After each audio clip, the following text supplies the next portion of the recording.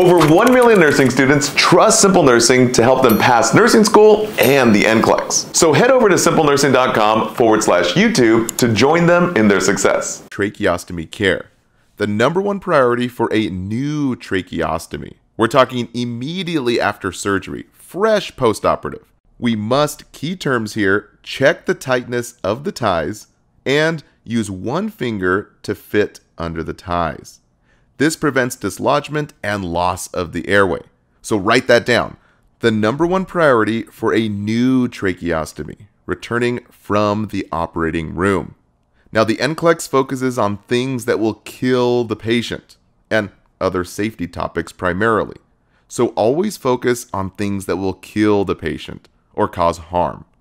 The worst thing that can happen is accidental dislodgement of this tube, resulting in that loss of airway since the new trach placement is very difficult to reinsert because it takes time to heal. So we must check tightness of the ties to prevent that lost airway. That's always the number one priority. So don't let the NCLEX trick you here. Priority is always airway.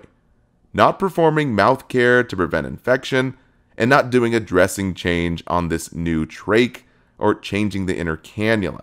Many students get this wrong. So please write it down checking tightness of the ties means maintaining the airway here. Okay, now what happens if the tracheostomy does get dislodged or pops out? Let's say you're going to check on your patient and you find the trach tube sitting on the bed. Oh, snap!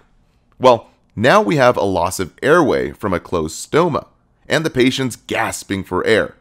This, my friends, is a medical emergency. So, what's your first action? Well, we need to secure that airway, right? So listen close here. For a mature tracheostomy, seven days or more, we insert the new tracheostomy tube using a curved hemostat. But technically, we should always have an obturator at the bedside used to reinsert. And number two is we cover the stoma with a sterile occlusive dressing and ventilate the lungs by using a bag valve mask over the nose and mouth. Now, those two steps love to show up on the NCLEX, since this is a life saving intervention here.